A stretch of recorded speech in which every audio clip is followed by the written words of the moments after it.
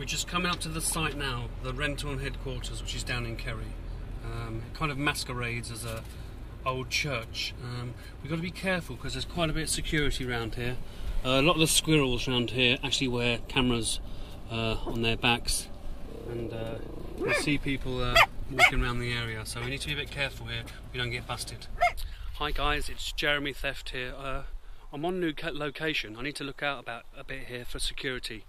I'm about to enter Renton headquarters, which I said uh, masquerades as a church. And this place has been used since 1726 as a place for uh, kind of rituals and uh, people to uh, sacrifice in high society, also for mind control.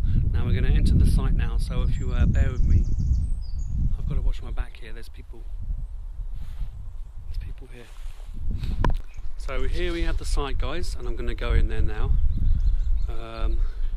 Got past security. Obviously, it's very heavily defended. Um, I managed to sneak in. I was actually camouflaged, which was quite good.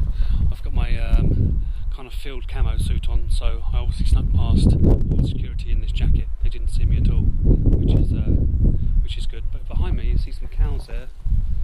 These are actually terror cows used for mind control by Renton, and um, apparently they're being fattened up to be flown into the uh, Houses of Parliament in London via jets um, in three months' time. I heard this on conspiracycows.no, uh, which is a Norwegian site.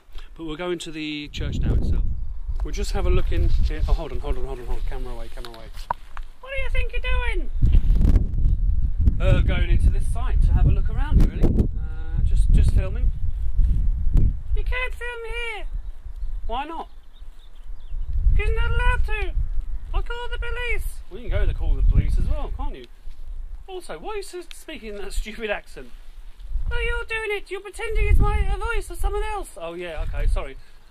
Well, I'm going to call the police. Well, go on and go and call the police. I'll speak to you later.